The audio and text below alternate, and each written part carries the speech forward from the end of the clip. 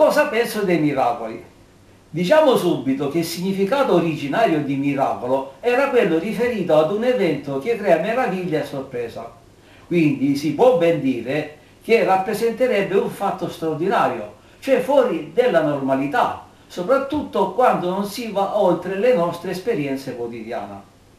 Per questo si pensava non connaturato alle leggi naturali e quindi opera di volontà misteriose e divine, per punire noi poveri mortali attraverso gli eventi funesti e dolorosi o per premiarci attraverso quelli felici e gioiosi.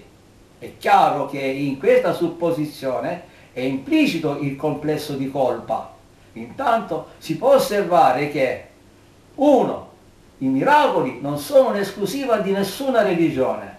Ognuno ha i suoi santi, santoni, guru, illuminati, che compierebbero tutti una serie di prodigi sulla nostra salute, amori, affetti, affari e in seguito a suppliche e preghiere dei popoli fedeli. 2. Oggi la medicina sa dare una spiegazione scientifica su molte di queste guarigioni, un tempo misteriose.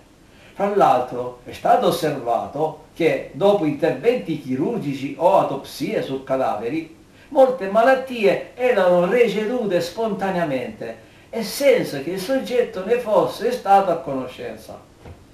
D'altra parte, noi stessi possiamo constatare come le ferite sul nostro corpo guariscono spontaneamente.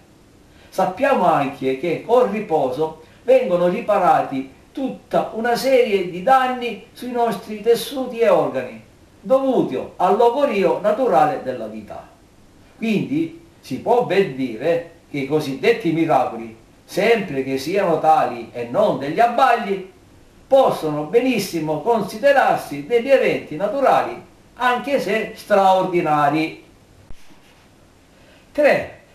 Poi a conferma della veridicità dei miracoli, al fine di legittimare così un ipotetico intervento divino, si chiede sempre conferma agli scienziati, come se essi debbono sapere dare sempre in ogni modo una spiegazione scientifica dei fatti naturali.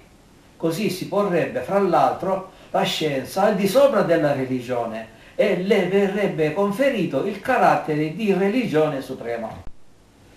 Per questo motivo io ai miracoli ci credo veramente e per esserne toccato non è proprio necessario invocare misteriose forze al di fuori di noi stessi. Basterebbe guardare meglio dentro il nostro profondo intimo. Vi scopriremmo un mondo sorprendentemente meraviglioso e prodigioso.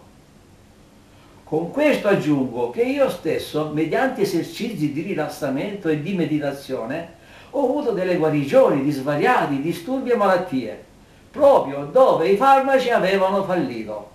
Anzi, posso ben dire che si può gestire meglio la nostra salute affidandosi meno ai farmaci e ai santi e di più alle nostre forze, ma anche alle conoscenze scientifiche sulla natura e origini dei nostri mali e malanni.